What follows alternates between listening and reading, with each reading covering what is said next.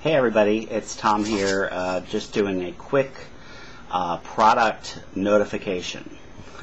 um, everybody knows I love uh, Fuze Slenderize. Um, Tanya loves it, I love it, Amy loves it, we all love it. Um, specifically, this one's my favorite. Uh, it's the Tangerine Grapefruit.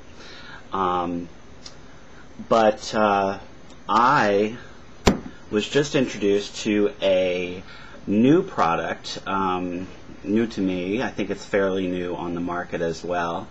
Um, made by Snapple, and it is a low calorie Snapple juice drink, kiwi pear, and it has the um, title Metabolism. So it's the Snapple low calorie kiwi pear metabolism this stuff tastes good. It also, um, just like uh, the Fuze Slenderize, uh, only has 10 calories per serving, two, uh, two servings per bottle. So um, there's two cups in the bottle. Um, zero fat, 35 milligrams of sodium, so just a little bit more sodium than these uh, Fuze Slenderize. Uh, total carbs are two, sugars one, which is great for um, an iron wire, only only one. Uh, protein zero, vitamin C, 10% of our daily intake. Um, but it is uh, sweetened with aspartame.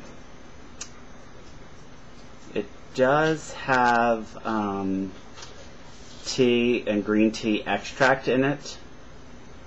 Um, so it's not only a juice product, but it does have some tea in it.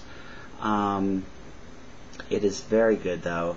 Uh, very, very cold. So if you have not seen this yet, give it a try. If you like Fuze Slenderize, I can pretty much guarantee you will like this flavor. Uh, Snapple Low Calorie Peach. Oh, I'm sorry. Snapple Low Calorie kiwi pear. Enjoy. Cheers.